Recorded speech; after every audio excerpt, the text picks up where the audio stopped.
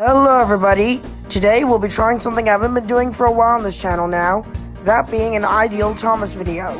And if this performs well, then I might just continue this series alongside the History series.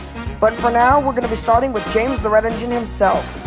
So, as I'm sure you've probably figured out by now, I do not like James as a Class 28. I'm sorry, but it's just way too dinky for me.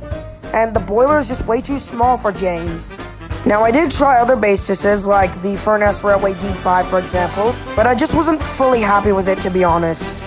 So, in the end, in case you couldn't already tell, I ended up going with the LNER J17, mainly because it had all the things that were core traits of James's design, such as a much fatter boiler, to be honest. And in terms of James's overall backstory, that'll be explained in the history video. If you guys want more of this series, tell me in the comments below.